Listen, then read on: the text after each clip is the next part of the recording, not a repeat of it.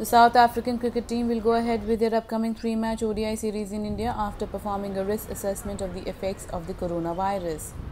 Cricket South Africa has cleared that the team will depart as per the schedule for the series, which is to start in Dharamshala. The South African Cricket Board said it had used the information from international experts, including the World Health Organization and the Board of Control for Cricket in India and South African Embassy in India. The statement of the board says CSA has engaged in a formal risk assessment process to ensure the health and safety of and duty of care to our players and staff.